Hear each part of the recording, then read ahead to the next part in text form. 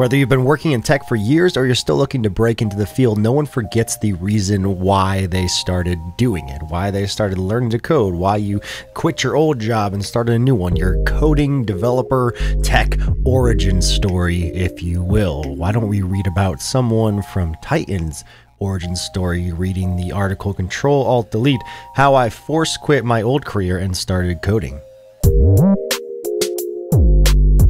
This article was written by Marcy Acevedo on the Tighten team. On Twitter slash X, you can find Marcy at underscore sugar coated. That's underscore sugarcoded. Let's read Control Alt Delete how I force quit my old career and started coding. We've all heard it. At some point, life will hand you lemons, and your task is to turn them into lemonade. But people don't tell you that sometimes you just end up with heartburn, wondering why you even tried. Here's a secret if your lemons go bad, toss them in the trash bin and treat yourself to a milkshake instead. A few years ago, I'd had my share of lemons and heartburn, so I reached for my milkshake and started a new career in coding. Let me tell you, moving into an entirely new career when you're past your prime learning years is tough. Balancing a job, a family, and other responsibilities while learning a new skill can feel like juggling flaming torches. But if you're thinking about it, fear not, you're not alone.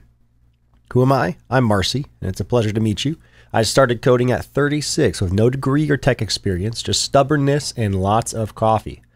Fast forward a few years, and I'm a programmer at Tighten. Let's talk about it. Why I changed careers. I spent the majority of my adult career as a hairstylist. I enjoyed it for a time, but after 15 years, I felt increasingly burnt out. The industry was evolving in a direction that didn't resonate with me anymore, and I'd had enough. I no longer looked forward to work, and every morning I searched for reasons to stay home. That's when I knew I needed a fresh start. It felt like I was stuck on a roller coaster without brakes. Staying on was maddening, but I didn't know what else to do. When I considered my options, my brain circled back to coding every time.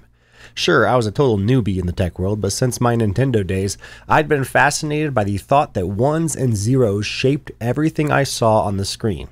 Also, who could forget the days of spicing up your MySpace profile? With my imaginary approval from MySpace Tom, I decided to go for it. How I restarted learning. I quickly discovered programs like Free Code Camp and Codecademy, and I was ready to start. I arrogantly thought, how hard could this be? People teach themselves to code all the time.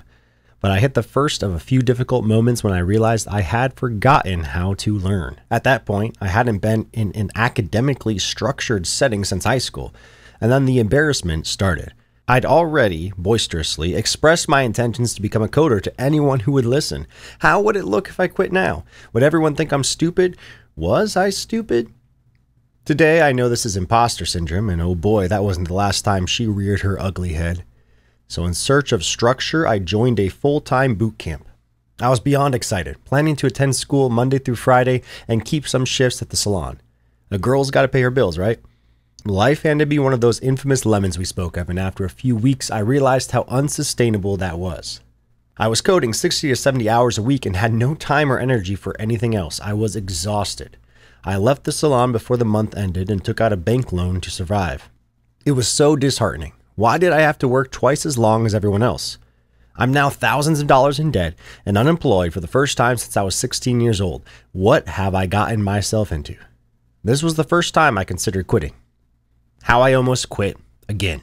While the class was what I wanted structure, deadlines, homework I was so self conscious that I was the oldest student by at least a decade, and they'd all finished the self paced programs that I gave up on.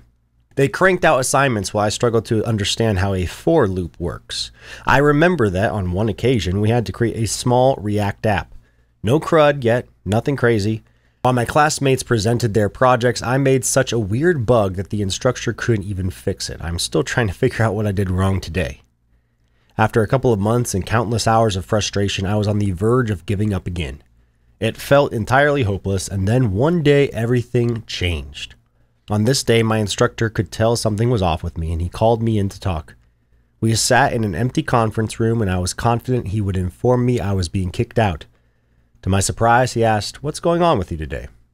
I immediately started crying my eyes out. I'm talking Kim Kardashian style. Without much choice and between hiccups, I told him everything. I'm an idiot. What am I even doing here? Everyone understands this except me. Why did I leave a successful career this close to 40? Am I even hireable when there are so many younger people to choose from? I'm too old to learn something this complex. I've made a colossal mistake. He gave me a moment to catch my breath and finally asked me a question that was so simple and yet completely shifted how I think about things, even today. Why don't you ask for more help? I tried to think of an excuse, anything to save my ego, but I couldn't. Instead, I sheepishly told him that I was embarrassed. I compared myself to the other students who don't ask as many questions and couldn't understand why I don't click with the course material the way they do. Why I didn't quit. His response changed everything. First of all, they do ask questions, he told me. They DM me instead of speaking up because they're self conscious too. None of us knows everything and never will. Some kids learn to read at four and some learn to read at eight. It doesn't matter how old you are when you start. We all start at the beginning. Ask questions, that's how we learn. So you're telling me you have to learn things to know them? I walked back to the class, bleary eyed, my mind racing, trying to absorb what I had just learned. Later, when a discussion about JavaScript came about and I was quiet as usual, my instructor made eye contact and gave me a look. Speak up, it said. With my face hot and my pride swallowed, I asked my classmate, Can you explain what you mean? He smiled and said, Of course. We worked together on the problem until I understood. We laughed, chatted, and complained about how weird JavaScript is. He didn't care how old I was. No one thought I was stupid. We were all just learning and having fun. The only person in that room that gave a damn about any of that was me. What I learned from others. I recently put out a survey to collect insights from others who chose coding as their new career.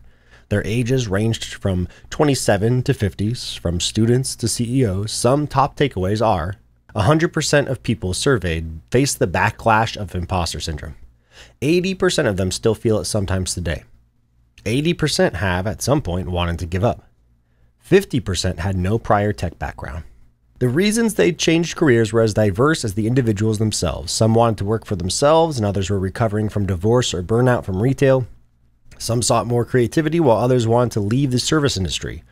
One person shared that they wanted to change to a career where they could work from home to manage their anxiety. Everyone faced or is facing different challenges. Here are a few specific responses folks shared in my survey. Alejandro, a student from California, said, I'm looking to finding slash creating opportunities to get real world experience. Ken Barrios, a web developer from Chicago, after nine years, I still hate math and get anxious hearing client requests. I'm terrified something will come up that I can't do or learn. John Baer, VP of Engineering, London, UK. When I learned there were not many resources, that was 15 years ago, pre Stack Overflow. Anonymous participant, software engineer, Chicago. There is no one cure for imposter syndrome. It probably took a good two years of working before I started to accept that I'm actually good at my job. What you can learn from me. So, what does this all mean? Coding is hard. It's that simple. No matter who you are, how old you are, or how many sweet tricks you can do on a skateboard, we all need the same thing time, persistence, and remembering no one cares about your hangups but you. I'll be honest, I still struggle with imposter syndrome. I still question myself and probably always will, but in these moments, I'll try to remember how far I've come. I went from sobbing in a conference room to working my dream job in just a few years. At Tighten, we thrive on learning. Asking questions, sharing knowledge, and pair programming are all ingrained into our culture. I'm surrounded by brilliant programmers who reach out to each other without hesitation daily. Whether you're an apprentice or the CEO, it makes no difference. None of us knows everything, and we never will. I hope my experience encourages you to ask the questions you think are trivial. You won't be the first to ask and certainly won't be the last. No matter where your journey began, we have all struggled to understand how a for loop works at some point. Some of us were just a little older when we did. What's important is that you keep going.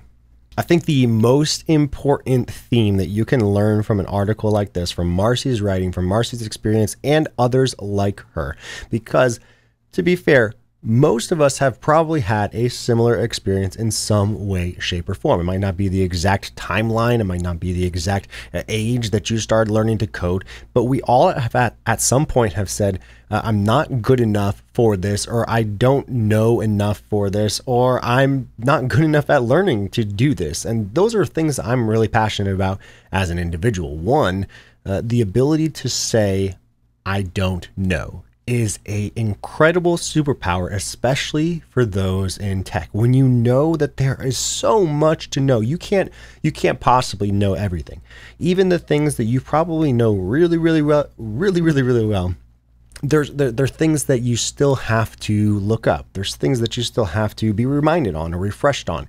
One of the latest videos I put out on the Laravel official channel was me literally in that video. It was not pre-planned or something that I, you know, scripted out beforehand. I had not touched or written a single test in Laravel and I probably had written very few tests in other languages before that. That was my first time I had ever touched testing.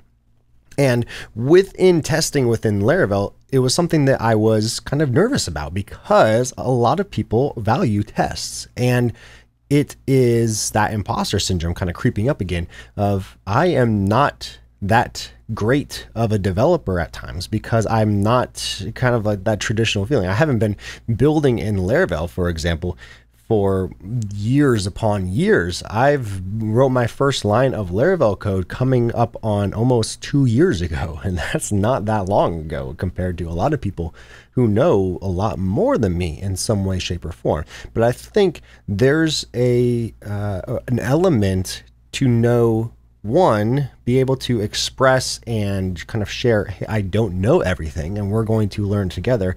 And two, there's this ability to when you can finally admit that and also admit that uh, in a public way of saying i actually don't know. I'm learning that or i'm not fully equipped to answer a single question but we can learn together that kind of admittance especially in a public manner goes a long way for how you learn and how you retain information. So just like Marcy said in this, there's that aspect of imposter syndrome of I don't know anything or like uh, no one has the same questions as I do or everyone learns it a lot quicker than I do. That that's some people just are naturally gifted with learning something a lot faster and some people pick up on certain things than others. But another thing that i'm really passionate about that i think marcy touched on is the ability to finding out that you need to relearn in some ways how to learn. And i think they go hand in hand. Uh, one of the, one of the things I've always kind of uh, enjoyed studying in my off time and uh, within you know books and different psychological studies and everything like that is how does the human learn?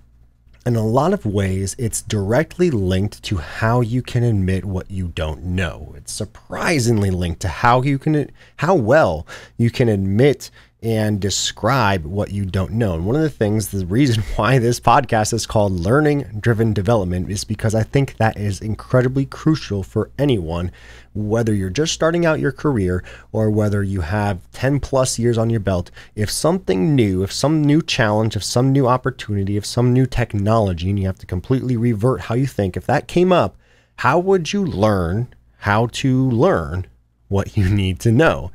And the reason why I chose the name Learning Driven Development for this podcast, for this series, is because I think the best way, especially like we saw in this article with uh, with Marcy and imposter syndrome and everyone else who she who she queried on, hey, how do you get over imposter syndrome? The biggest way to start learning is realizing that you have a problem, a, a gap, a um, skill that you need to overcome, that you need to attain. When you can admit, I don't know this or I don't know how this works, that is the development driven portion of learning where you're like, I don't know how to make a game. I don't know how to make a chat room uh, with live chats back and forth. And all of a sudden, now you have this problem that you're trying to overcome and you're learning these skills necessary to overcome that problem. When you're asking a question and you're admitting in front of a bunch of people, or even just publicly on, on Twitter or like in a blog or in a video, hey, I don't know this or I don't know this to the best of my ability, you are saying there is something I need to learn. And in a lot of ways, that kickstarts the development process, that that learning process where now I have this problem I can solve. Now I have this outcome I am looking forward to.